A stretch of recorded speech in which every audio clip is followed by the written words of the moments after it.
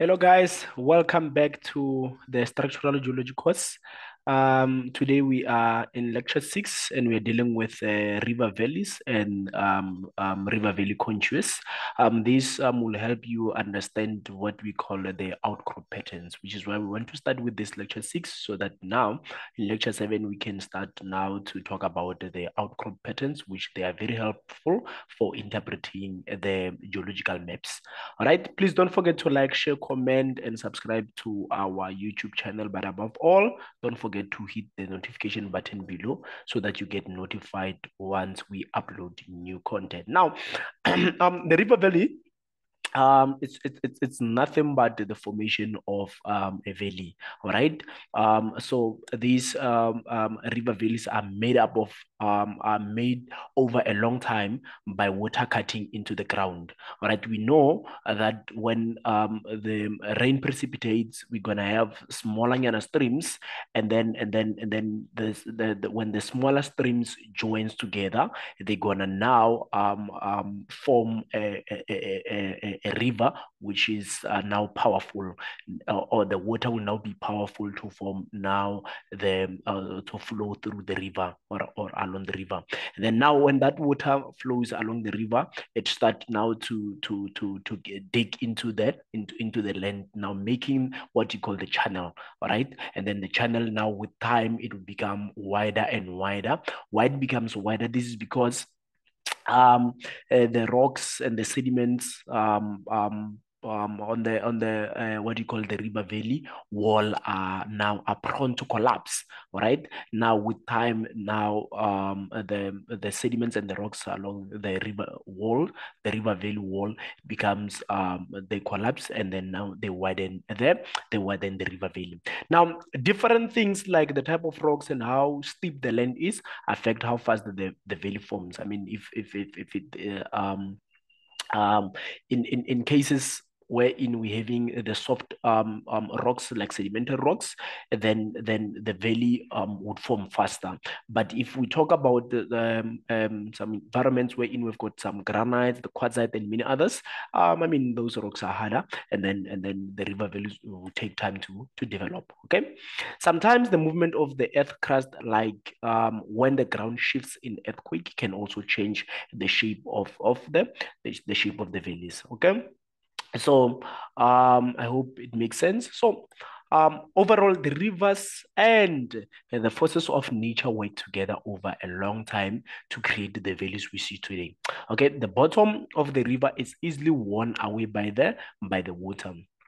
All right, so when we're looking at the, um, if we've got a valley um, like this, if, if we've got the valley like this, um, initially uh, the when the rain starts, it will be something like this. But with time, because the uh, rocks and sediments along the river, uh, along here, here, okay, here,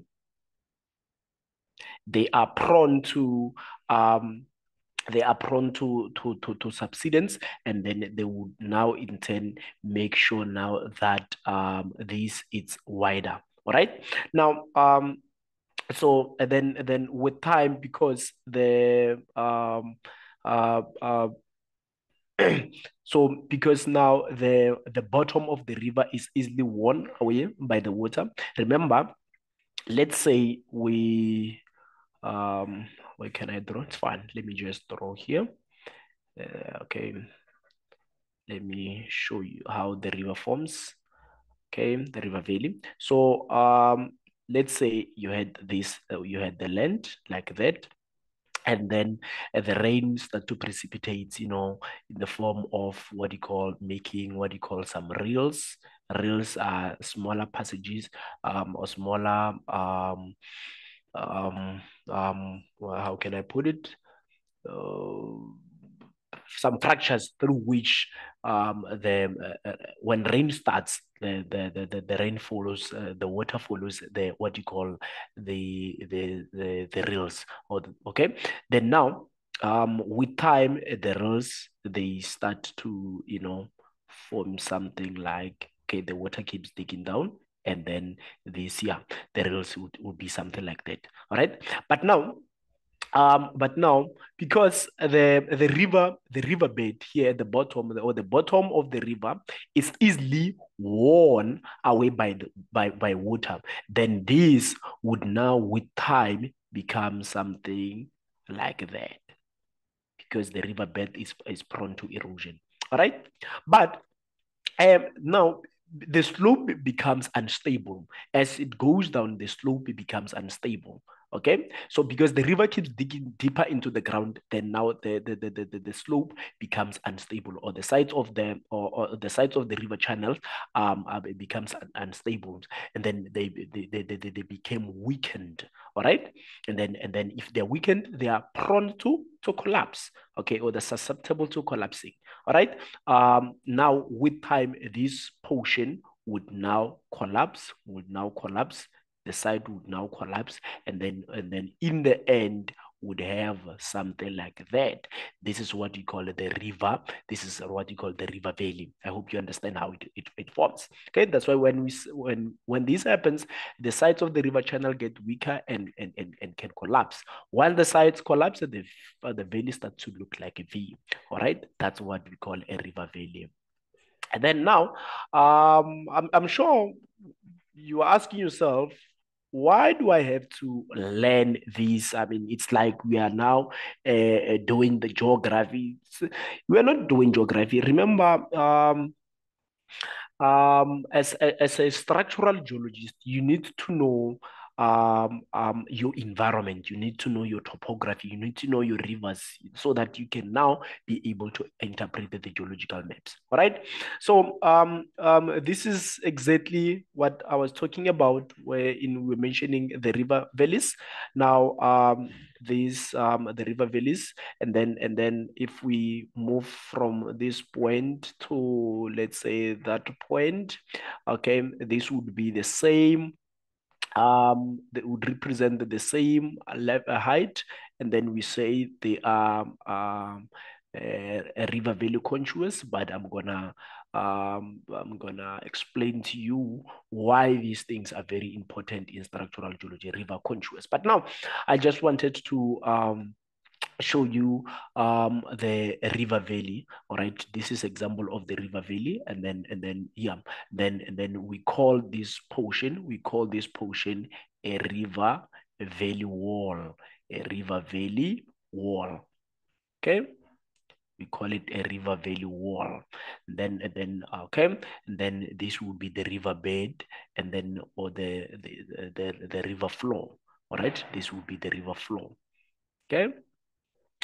yeah, so you need to understand these things as structural geologists so that you can understand what you call the rule of V's, which we're gonna cover in um, lecture eight. The rule of V's.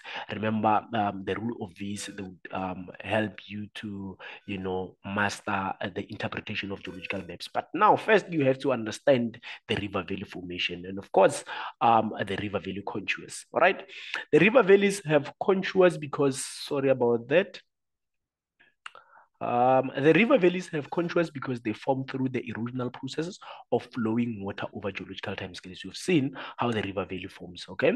As the river flow down uh, downhill, they erode um, um, the surrounding landscape. You've seen, okay, I, I told you that um, the, the, the, the, the, the side of the river channel is um, um, prone to collapse, all right?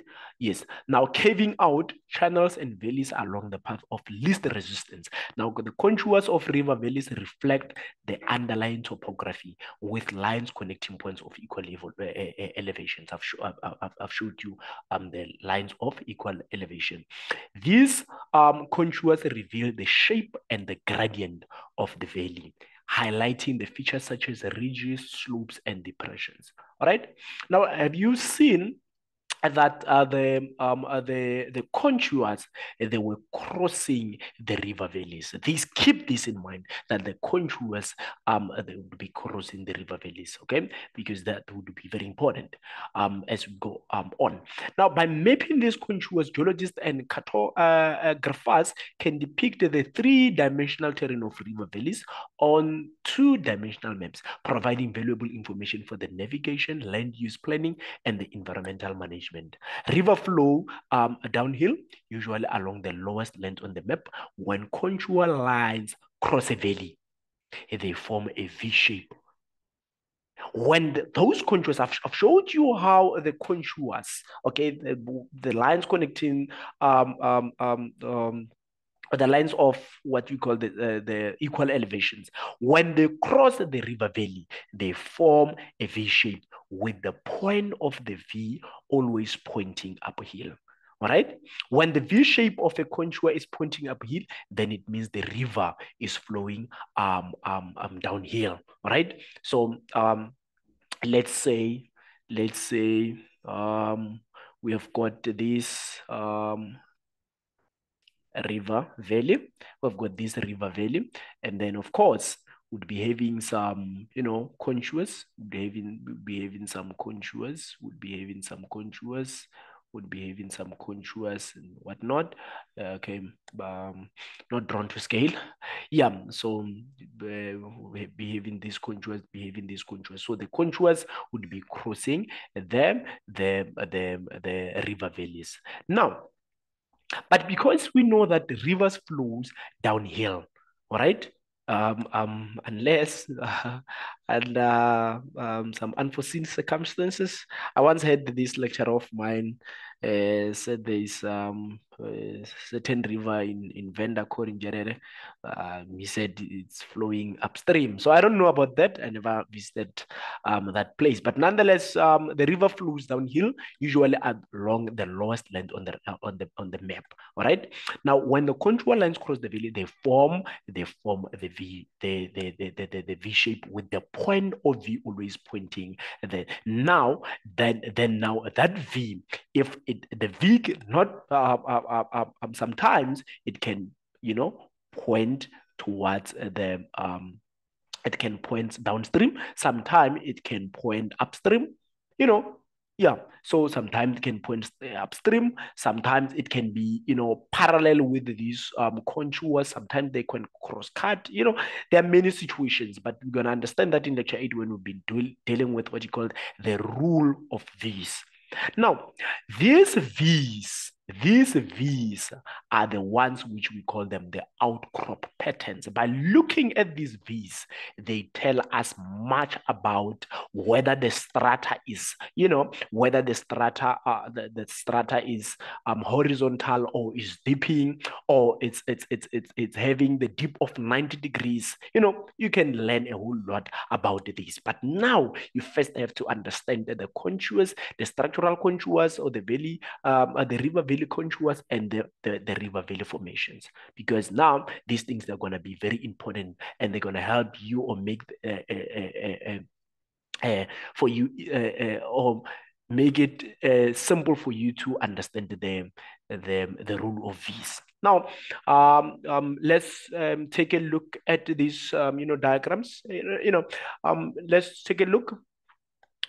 Now, the V is pointing upward the V is pointing upstream. It means now the river is going this way. Okay? This is understanding the river valley contours. That when when when when when these when when we've got these contours, the contours remember they connect the um, uh, point of or the point of equal elevation. Okay, but now, um, uh, when now V's, they're going to be forming the V's. Now this V is pointing upstream. Now, if the V is pointing upstream, it means the river is flowing downward. This is the rule of thumb. Always keep that in mind. Now, can you now see that the V, it's um, um, um, remember this is that valley. Remember this is that valley. This is that valley. Oh, sorry about that this is that valley that I showed you.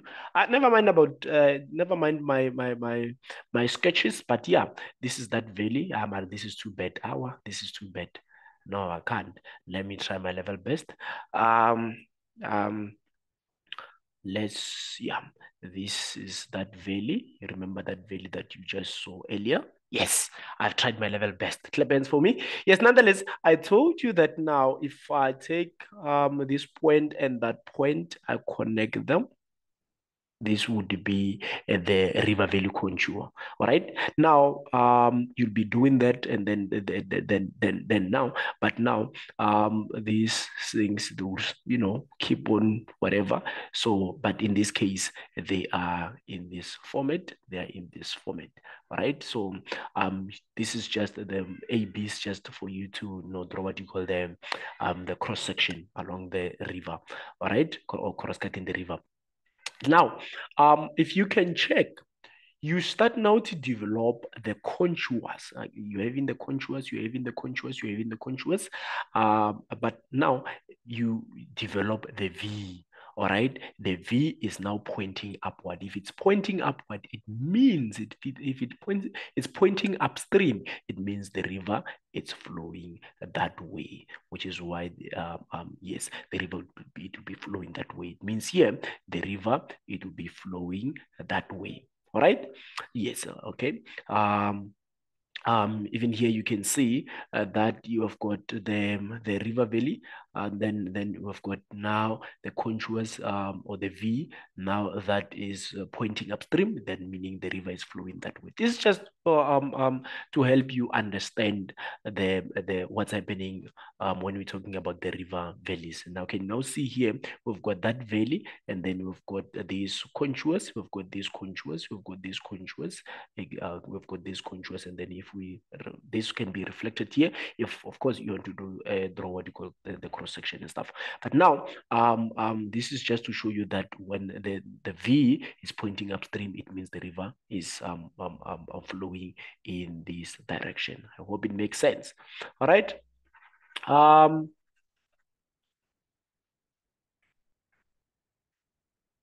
yeah, I hope it makes sense.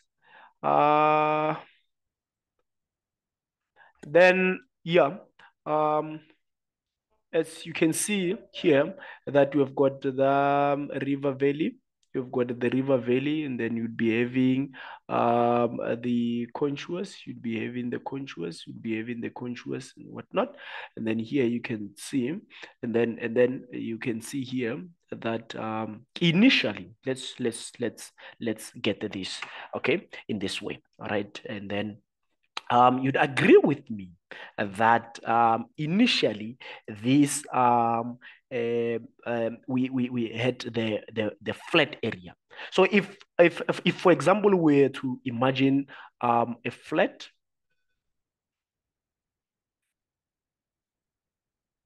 featureless, sorry, okay, just close your eyes and imagine a flat, a, a, feature, a, a featureless area all right then then if we have got the flat uh, a, feature, a, featureless area né?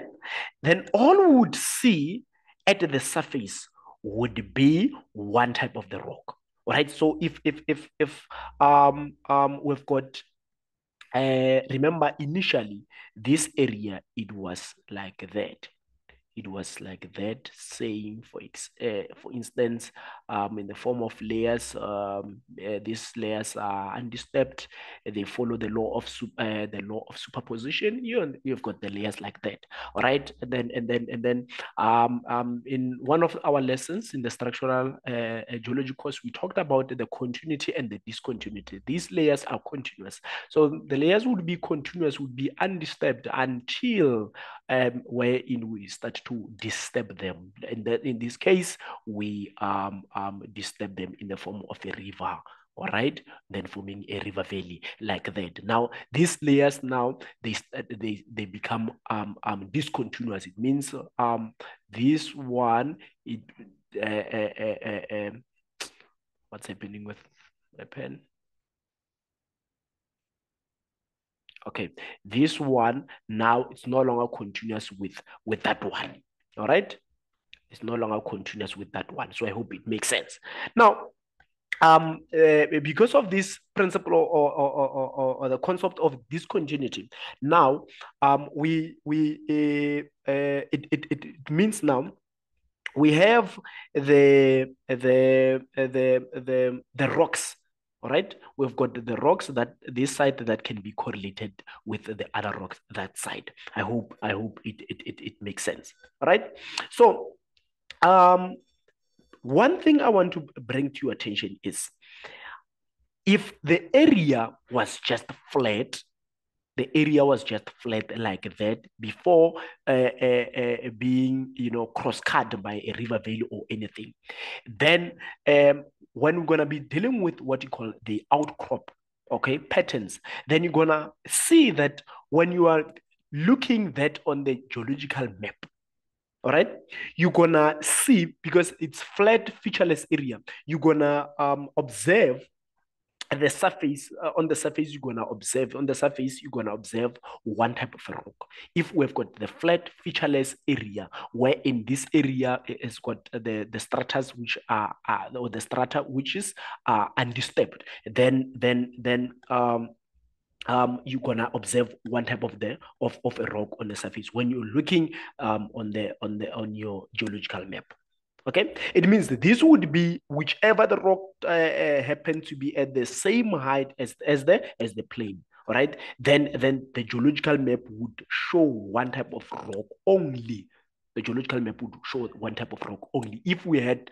now, uh, we had this the, the, the, the, continuous layers, the geological map would show one type of rock. But now, because of the effect of discontinuity, okay it means um um because in in in in in in in in, in reality all right um remember um uh, in reality you can never have um, the rocks, you know, that are just there, they are undisturbed and many other things. All right. Then the area uh, in reality cannot be flat and featureless. But if we've got the area that they have got some mountains or some hills, some valleys, you know, like this, you know, that cut cross or that uh, uh, cut through the horizontal layers like that that cut through the horizontal layers okay then we would see more than one type of rock when we are viewing um, or when you're observing these features on the on the geological map immediately when we've got uh, the, the, the, the, the, the, the hills, the valleys that uh, cut across the horizontal layers, then on the map we start to see more than one type of a rock. Okay? Now you'd see that with many colors on that geological map. Okay. Now, then, then, then you'd agree with me that if the map has got some topographic contours, then the boundaries between the rock types. Uh, remember, these are the boundaries. These are bounded. This would be rock one, let's say two, three. Then these boundaries right? Remember the map has got some um, um, topographic contours. Then the boundaries between the um uh, these uh, these type these layers will now outcrops in shape that follow the contours. Remember these are the boundaries. These are the boundaries um, that separate different rock, uh, uh, uh, rock types. All right? Now um, um, um, um, now the, the, the, the, these boundaries between these rock types will always will always outcrop will always outcrop in shapes. Yo what's happening? I don't know what i did.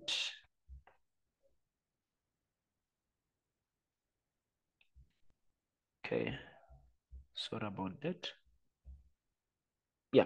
So um, this will always outcrop outcrop in in in shapes in shapes that follow in shapes that um, follow the contours. This is the rule of thumb.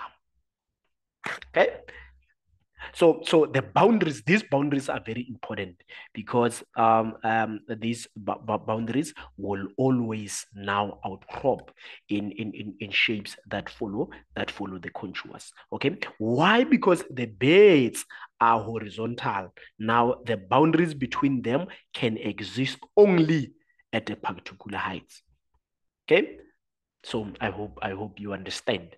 Now um which is why you are uh, because of remember the initially we had the horizontal layers that were continuous but now um uh, with time, you know, we've got the valleys that develop and then cut through the the the the um, the horizontal layers and then and then then now the boundaries between the different types of rocks or the rock layers would now um, outcrops in shape that follow uh, the contours. And then now those um, um, um, shapes, those shapes that follows the contours are what we call the, um, they define what you call the outcrop pattern. Now, as the structural geologists, we are looking for that, those shapes. Then that's what you call the rule of V's. They would help you now to understand the, uh, the um, structural features, okay, on the map. I hope um, this makes sense. So um, this um, brings us to the end of uh, lecture six. Let's um, meet in lecture seven, wherein now we are going to be dealing with what you call um, the outcrop patterns. I'm going to uh, um, discuss what generally are outcrop patterns and why are they important. And then in lecture eight, we're going to now deal with the rule of V's we're going to now deal with the rule of V's. All right. So thanks for um, attending this lecture. Please don't uh, forget to like, share, comment, and hit the notification button below. And if you have got um, the topic of your choice that you want us to cover in um, this series of structural geology, you are more than welcome to um, um, um, comment in the comment section or mention that in comment section, and we gonna look into that. Let's meet in in another lecture. Until next time, cheers.